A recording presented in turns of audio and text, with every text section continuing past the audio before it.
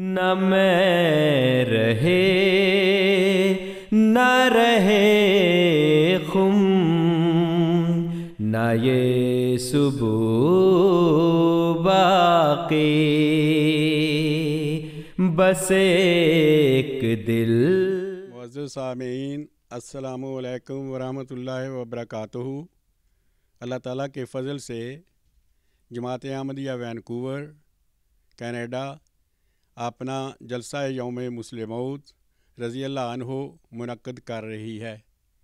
اس موقع پر ہم جماعت کے چاند خوش نصیب احباب سے حضرت مسلم عود رضی اللہ تعالیٰ عنہ کے بارے میں ان کے تأثرات سنیں گے، جنہوں نے خود حضرت مسلم عود رضی اللہ تعالیٰ عنہ کو دیکھا اور آپ کی شخصیت سے متاثر ہوئے، آپ کی باتیں سنی اور آپ سے باتیں کیں تو آج اس موقع پر ہم ایسے احباب سے حضور سے کے متعلق کچھ باتیں سنیں گے۔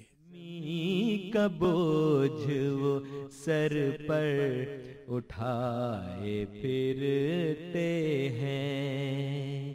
ایک آگ سینے میں اپنے دبائے پھرتے ہیں۔ خاکسار کو حضرت مسلم عود رضی اللہ تعالیٰ عنہ کے ساتھ ملاقات کی جو سعادت حاصل ہوئی، اس کا تذکرہ کرنے کا ارشاد فرمایا گیا ہے۔ سو وہ بیان کرتا ہوں۔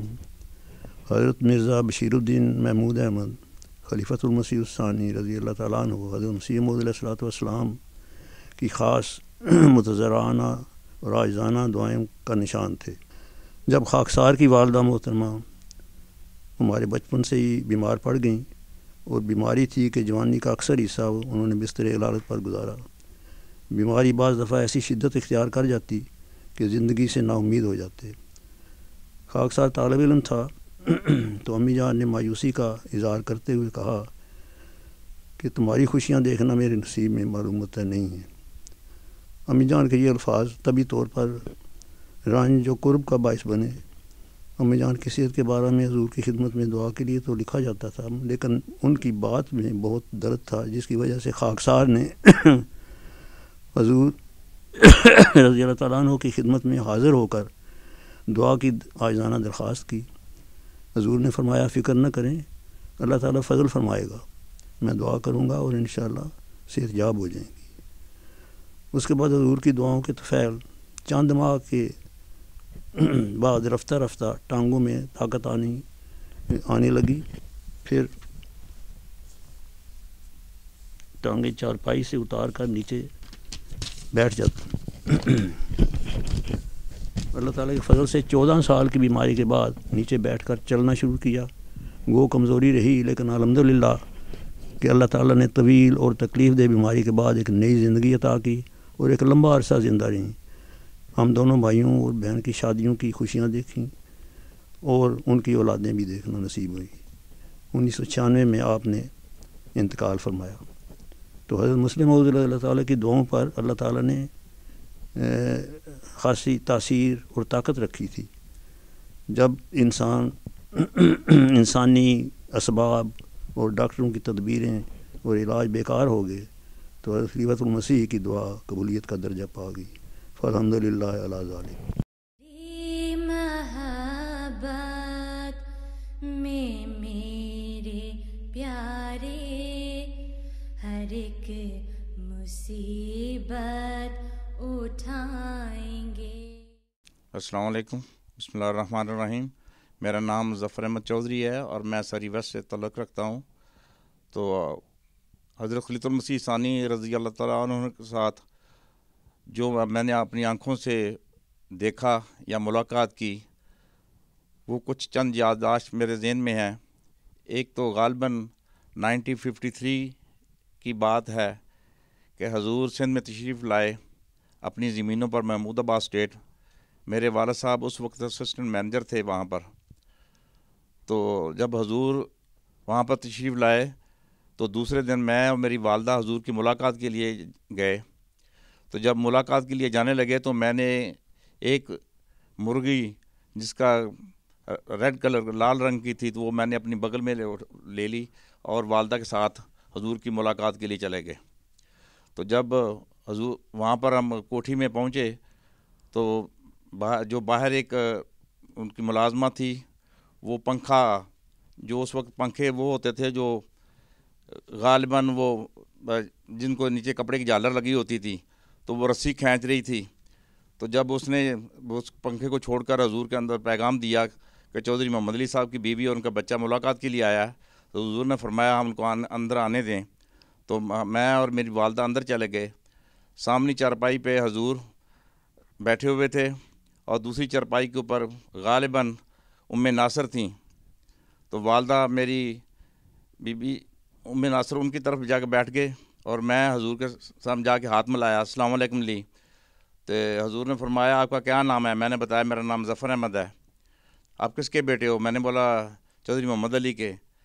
تو فوراً ام ناصر بولیں کہ وہ آپ تو کہتے تھے ان کی شادی نہیں ہوئی تھی، ان کے یہ بیوی اور بچہ کہاں سے آ گیا؟ تو حضور نے فرمایا، یہ کیا لے کے ہو؟ میں نے بولا، حضور یہ آپ کے لیے تحفہ لے کے آیا ہوں۔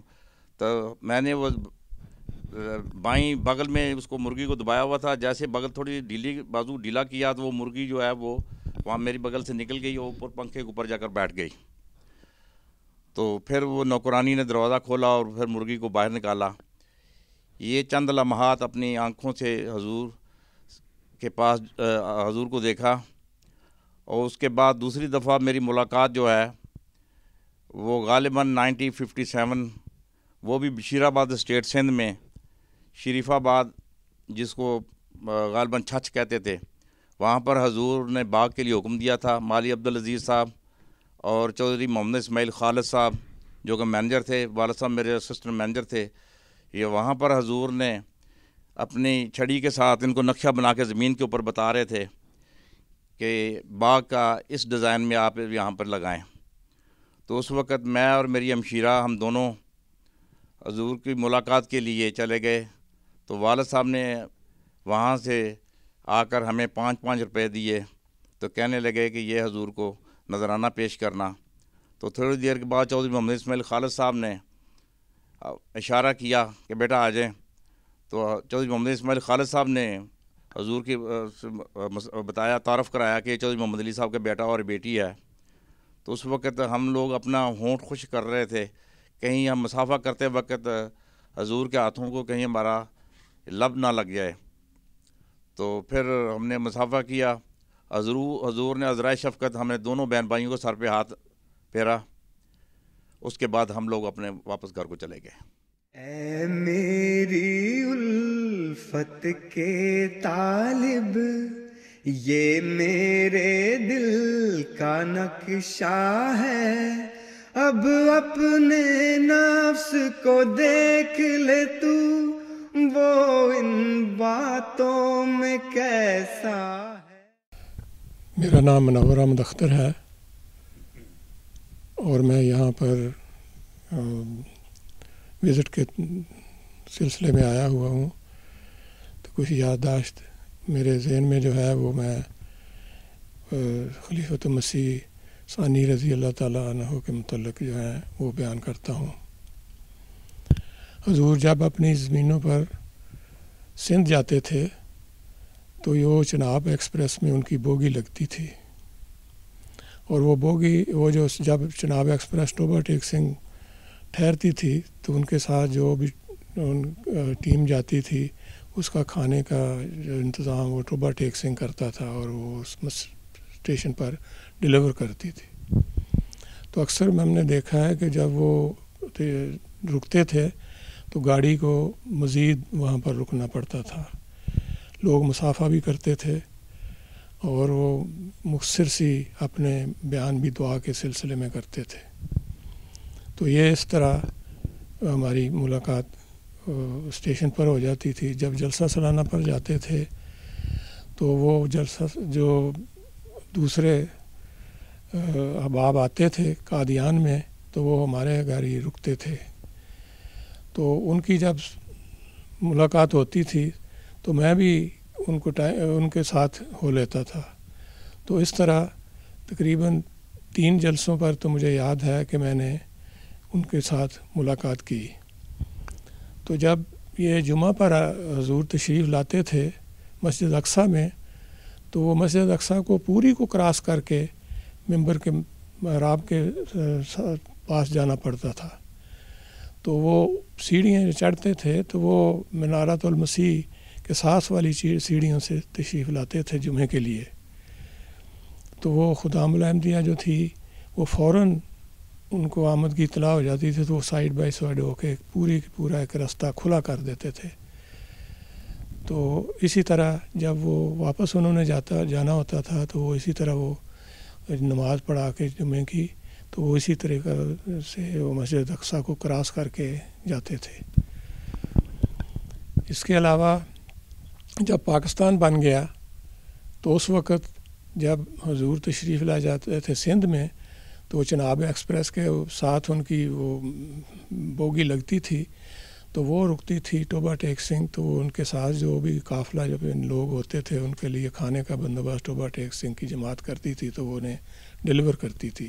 تو اس وقت میں جو ٹرین کا سٹے ہوتا تھا وہ دو تین منٹ یا چار منٹ زیادہ ہی وہاں پر اسے رکنا پڑتا تھا۔ اس دوران ہمیں مسافہ کا بھی موقع مل جاتا تھا اور اس دوران جو دوسرے دوست ہمارے غیر احمدی ہمارے کلاس فیلو ہوتے تھے، وہ بھی بڑے شوق سے جاتے تھے اور ملاقات، مسافے کے لیے جاتے تھے۔ خالی امید ہے فضول سی عمل بھی چاہے ہاتھ بھی تو ہلائے جا، آس کو بھی بڑھائے جا۔ السلام علیکم ورحمۃ اللہ وبرکاتہ۔ میرا نام خلیل احمد مبشر ہے۔ میں وینکوور میں مربی سلسلہ ہوں۔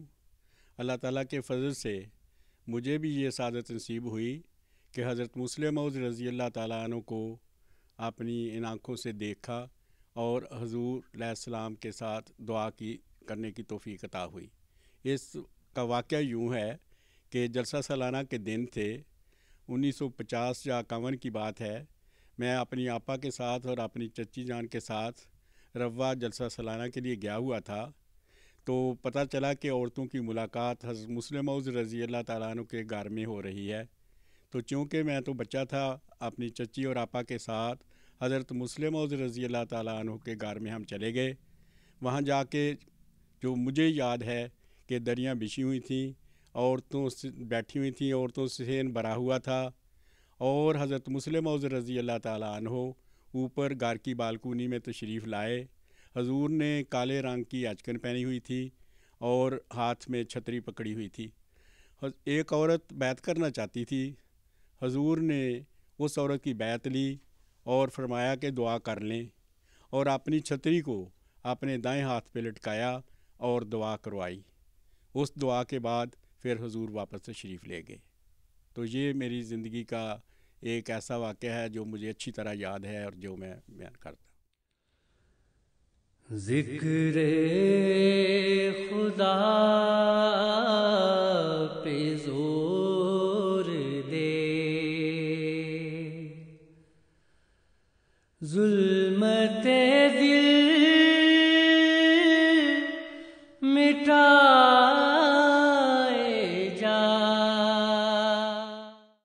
السلام علیکم ورحمۃ اللہ وبرکاتہ میرا نام ڈاکٹر وسیم احمد ہے۔ میں حلقہ سر ایسٹ وینکوور سے کا ممبر ہوں۔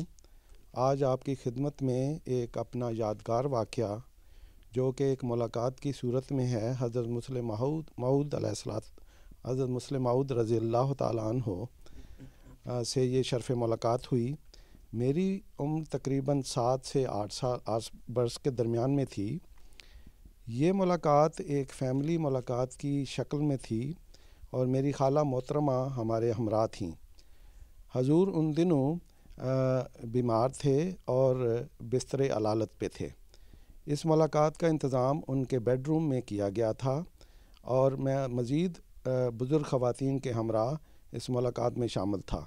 چونکہ میری عمر کم تھی اور مجھے یہ ملاقات کا دورانیہ تقریباً دس منٹ کے قریب محسوس ہوتا ہے۔ گفتگو کے مندرجات تو مجھے یاد نہیں، لیکن یہ بات مجھے یاد ہے کہ میں تقریباً دس منٹ حضور کی فٹ بورڈ کے ساتھ اس کو پکڑے کھڑا رہا۔ اور یہ لمحات میری زندگی کے لیے بابرکت لمحات کے طور پر تا تا دم مرگ میرے دماغ پہ نقش ہیں۔ اور میرے لیے ایک تسکین کا باعث ہیں۔ جزاک اللہ، آسن الجزا میں اپنے پیاروں کی نسبت ہرگز نہ کروں گا پسند کبھی۔ وہ چھوٹے درجہ پہ راضی ہوں۔ اور ان کی نگاہ رہے نیچی۔ السلام علیکم ورحمۃ اللہ وبرکاتہ۔ میرا نام مرزا مبشر احمد ہے اور میں سری ساؤتھ جماعت سے تعلق رکھتا ہوں۔ آج مجھے مربی صاحب کے ارشاد کے مطابق موقع ملا کہ میں اپنی ایک بہت سہانی سی یادگار آپ کے ساتھ شریک کروں۔ یہ ملاقات حضرت مسلم ماؤد رضی اللہ تعالیٰ عنہ کے ساتھ ہے۔ اس وقت میں غالباً تیسری یا چوتھی جماعت میں پڑھتا تھا۔ اپنی دادی جان مرحومہ کے ساتھ ہم حضور سے ملاقات کے لیے گئے۔ قصر خلافت میں سے نکل کے جب سیڑھیاں چڑھ کے اوپر پہنچے تو حضور وہاں برآمدے میں بستر کے اوپر تشریف فرما تھے اور حضور نے میں نے مسافہ کیا تو حضور نے میرے سر پہ ہاتھ پھیرا اور ساتھ بیٹھنے کے لیے کہا۔ پلنگ کے اوپر میں بیٹھ گیا۔ دادی جان کے لیے حضور نے کرسی منگوائی۔ دادی جان سامنے بیٹھ گئیں۔ تو باتیں ہوتی رہیں۔ حضور کا ناشتہ حضرت چھوٹی آپا مرحومت لے کے آئیں۔ اس میں کچھ چھوٹے چھوٹے سے رس تھے اور دودھ کا گلاس غالباً۔ تو حضور نے وہ رس نکال کے ایک مجھے دیا اور میں نے جیب میں سے اپنے رومال نکال کے اس رس کو رکھا اور اس کو طے کر کے رومال کو اپنے پاس ایسے رکھ لیا۔ تو حضور نے عذرائے شفقت اس کو نوٹ کیا اور کہنے لگے کہ دیکھو اس بچے کو اتنا معلوم ہے کہ اس نے یہ تبرک گھر لے کے جانا ہے۔ اس کے بعد حضور نے مجھے ایک اور رس دیا اور کہا کہ بیٹا یہ آپ یہاں کھا لو۔ اور ساتھ ہی حضرت چھوٹی آپا صاحبہ کو، مرومہ کو کہا کہ میرے لیے دودھ کا گلاس بھی لائیں۔ حضرت چھوٹی آپا دودھ لے کے آئیں، میں نے دودھ بھی پیا اور پھر باتیں کرتے رہے۔